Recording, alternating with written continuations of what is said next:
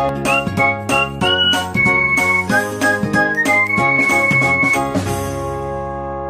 everyone, welcome back to my YouTube channel Trouble Free. In this video, let's get started with a new playlist that is data mining. So many of you have been asking me to make videos on data mining. Uh, well, still I thought of not to start this playlist because I'm not actually getting time. Uh, if I start, I feel like I have to complete and you know, uh, so I thought of not not starting it as actually uh, but you know so many of you have been asking uh, you know i felt like okay so many people are asking I have to do, I have to definitely do, and the topics also, you know, so many topics are there uh, where which are not found anywhere. I don't know how to deal with that topics, but still somehow I'll manage to complete the playlist by your exams time. So let's get started. This is the first video. In this video, I'm going to explain you what is data mining and what types of data that can be mined. Okay, so let's get into the video now. First, what is data mining? You know what is mining, right?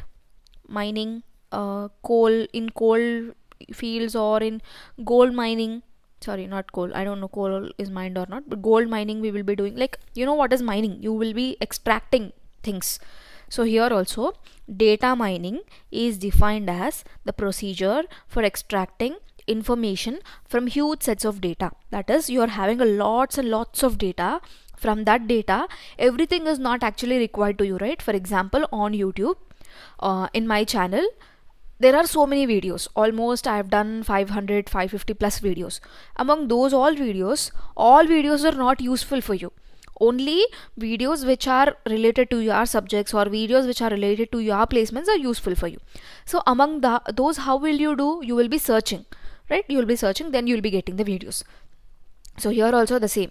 From the huge sets of data whatever information you want you will be extracting that information. That is what data mining is okay? It is also defined as mining knowledge from the data so from data whatever is required that is called as simply knowledge or information. So that you are mining it you are extracting it. That is what data mining means. Okay?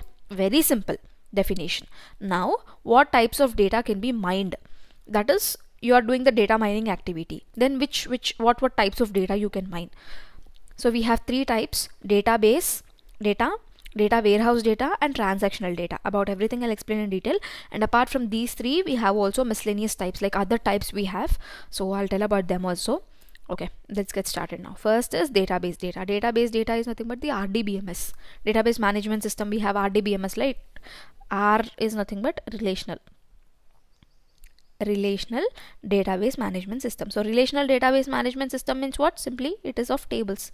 So it has set of tables and this tables will have rows and columns. Okay? Table is nothing but it is a combo of both rows and columns right? So row will uh, represent a tuple and column will represent a attribute. So what is tuple? What is attribute? You'll understand. Don't worry now. So while you are mining the databases so while you are mining the tables what you can get what is the output that you can get out of it that is you can search for trends and you can search for data patterns. Trends in the sense where the data is increasing or where for example sales. So at which point sales increased at which point sales decreased and at which point sales are neutral. That trends you can uh, you know find out right? And data patterns in the sense suppose you are having a list of marks of all the students of a class in a table. So you can under, observe the pattern like uh, you know majority of the marks sorry not majority of the marks. Mm, maximum marks are scored by how many people minimum marks are scored by how, how many people all that patterns you can identify out of that right? So that is what you can mine out of a database. For example with examples you'll understand it more better. By using data mining you can analyze the customer data in order to predict the credit card risk of new customers. That is based on the previous data of the customers of new customers based on previous data okay? So based on previous data you can mine that data you can uh, you know extract some useful points from that data and based on that you can predict the credit risk of the newly coming customers. Got it? You will be analyzing the existing data and you will be predicting some points predicting some situations where newly coming customers credit cards or credit information could be at risk okay in this situation you can use data mining and the other situation is analyzing the sales data. So you are analyzing the sales data of a particular company and in that you can uh, uh, analyze any deviations. That is the sales are going good or is there any deviation or is there any hike in the sales? Like that you can you know mm, analyze by using the data mining. This also by using previous years data and all you can do that. Okay this is about the database data next data warehouse. So what is data warehouse? Actually when I was in my engineering in 3.2 or 4.1 I don't exactly remember but we used to have the subject data warehouse and data mining not just data mining. It used to be data warehouse and data mining. The syllabus is completely different actually. So that is what I am not able to you know that is what I've not started videos all these days. If the syllabus is same, uh, since I have prepared, I used to have the PDFs, I used to have the materials, and when I've prepared, I write myself handwritten notes, and I used to have that and all. But for data mining, the syllabus is completely different. So only some topics were matching. So that's what. But still, I'll manage to complete it. Don't worry. So here, data warehouse is nothing but it is the collection of data integrated from different sources from different sources you are integrating the data and from that data you are collecting the data okay with querying and decision making on Don't the data. confused. I'll explain with diagram. So what is querying and what is decision making? Querying is nothing but you are suppose in dbms you'll be writing queries right? Insert create delete so querying, that is if you want to make any changes, if you want to extract the data or if you want to make changes into the data, you want to delete the data, all that you can do with the help of querying. And what is decision making on data? Decision making is nothing but you can make decisions like whatever you want to like uh, whether you want to increase the sales or whether you want to decrease the sales, whether you want to increase the prices.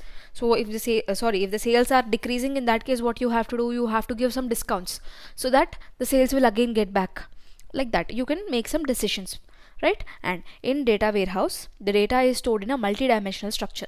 So in data in relational database how did we store the data? We store the data in form of tables right? But in data warehouse we will be storing it in a multi-dimensional structure which is nothing but the data cube where each dimension will represent each attribute.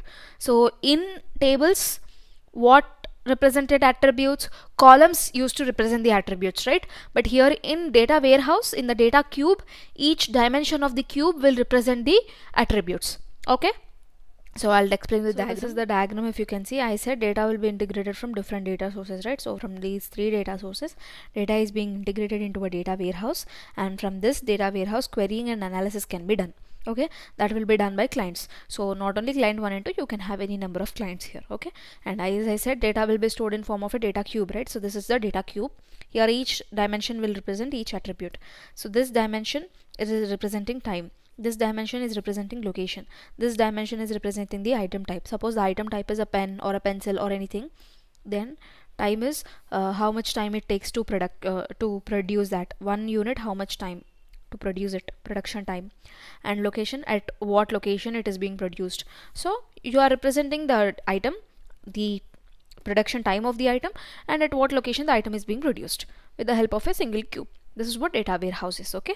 So after this we have transactional database. Transactional database is nothing but uh, you can simply say it is also similar to the previous two types. Here each record or each uh, attribute is referred as a transaction okay? So here you will be calling each record as a transaction. A transaction could be anything. It could be customer sales or it could be flight booking flight ticket booking or it could be user clicks on web page. That is uh, how many times a user has clicked on a particular web page or how many times a user has clicked on a particular banner or a particular advertisement. Like that. All these all these will come under the transactions only. Okay? A transaction will have transaction id and list of all the other items which are making up that transaction. That is the id of the transaction the name of the transaction at what time the transaction started transaction end time and transaction date transaction location transaction details everything will be there. Okay? Like bank transaction you can take for example. So here from the transaction database also you can mine the frequent patterns. That is the patterns which are occurring frequently. Got it? This is about the transactional database all transactional data you can say actually. Transactional data. Now after this we have other types of data as well. So what are the other types of data? Like sequence data. Sequence data means stocks stock market related data and data streams. Data streams is nothing but data which is continuously being transmitted okay? And spatial data. Spatial data is nothing but maps okay?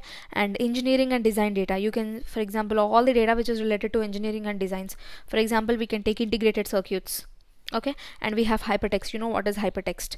And multimedia. Multimedia also you know what is multimedia right? Like audio video and all. And web data as well like web page related data and all. So this is about the other types of data. This is all about the types of data that can be mined and what is data mining and all. So let's continue. I will maximum try to continue the playlist without any uh, obstructions. Thanks for watching the video till the end. Let's meet up soon in the next coming video with another topic. If you're still having any doubts just let me know in the comment section